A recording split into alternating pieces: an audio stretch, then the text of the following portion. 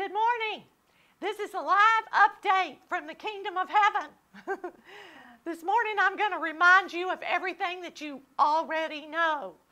the Bible tells us to understand the times and the seasons. Now, this is not the times and seasons of the earth. So let us recognize in the spirit realm that this is a season for faith. This is a season to do what pleases God and to continue to partner with Him. And partnering with God means standing in faith. Scriptures tell us to put on the whole armor of God and having done all, stand. So today, we're standing.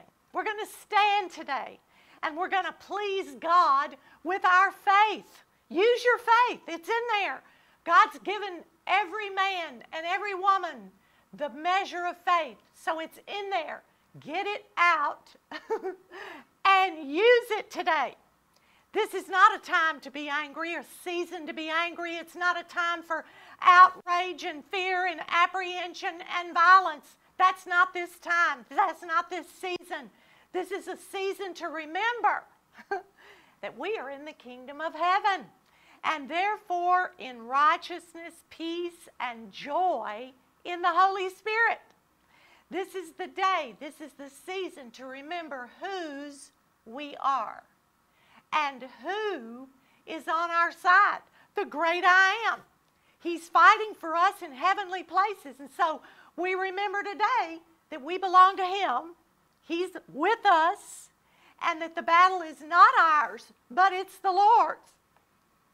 And furthermore, the battle is in the Spirit. The battle is in the spirit realm. So angelic forces are rallying all around God and are being sent forth from God and are accomplishing His will and purpose in this hour. Not our will and purpose, but God's will in this hour. Now, in the last couple of months, I've had many visions of the armies of heaven, of the mighty hosts of heaven, of the angelic armies being sent out. So God is going to do what He said He would do. I'm going to repeat that. God is going to do what He said He will do. He always does. He will not fail no matter what is going on, no matter what it looks like, no matter what's going on in the earth realm. God is going to do what He said He would do. So in this hour, I trust.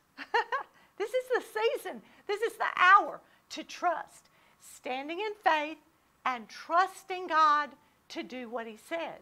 God is going to accomplish His will and purposes no matter what the opposition, yes, no matter what the battle is, it's His. So we trust the Lord today. We rest in the Lord today. We rejoice in Him.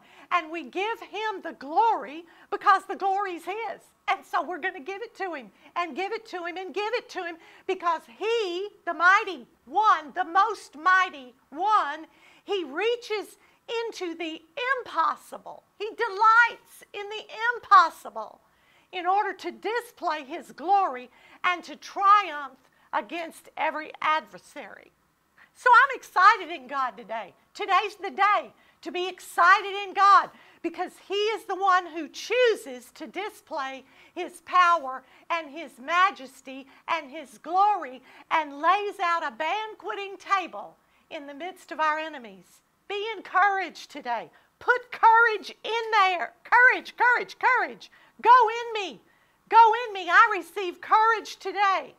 When King David was discouraged because his son had died, it says, the Bible tells us, the scriptures say that he encouraged himself in the Lord. So you and I, we go to the Lord and we let his courage come into us. We immerse ourselves in the Word of God today. We pray with our friends today. We encourage ourselves in the Lord and we encourage one another because He is the King and His counsel stands forever.